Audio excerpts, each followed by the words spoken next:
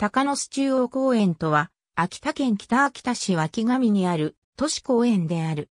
浮島の赤松と風青橋高野須中央公園は、かつて、道家体包と言われた農業用貯水池で、魚釣り場や純菜の採取場として知られていた。昭和27年、秋田勲新報社のハガキ投票で、観光秋田30系に入選してから観光地として有名になった。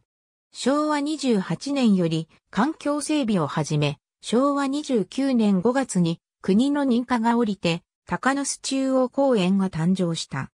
ツツジ、アジサイ、紅葉、雪景色など年間を通して自然の景色を楽しめ、中でも桜はソメイヨシノを中心に約800本が咲き、桜祭り期間中は夜間ライトアップされ、桜並木が水辺空間と一体になって湖面に生える。堤北川の丘から望む浮島の赤松と背景にある赤い風青橋が公園のシンボルとなっている。ヘラブナ釣りの名所でマブナや鯉も生息している。沼の周囲にトリムランニングコースがあり、景色を楽しみながらのジョギングもできる。また、野球場やテニスコートも整備されている。